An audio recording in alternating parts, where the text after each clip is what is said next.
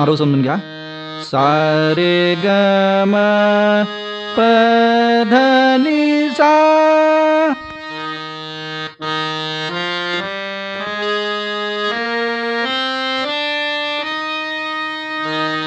आरोह समजून घ्या.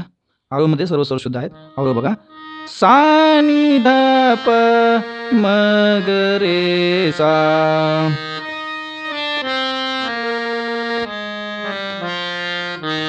आवरोमध्ये सुद्धा सर्व स्वर शुद्ध आहेत. गायनामध्ये काही ठिकाणी गोडव्यासाठी कोमलनीचा प्रयोग केलेला आहे. तसेच मंद सप्तकातील पंचम आणि शुद्ध निषाद यांचाही गायनामध्ये वापर झालेला आहे.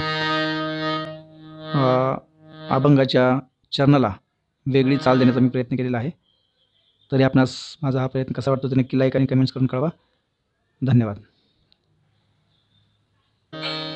सेवितो हर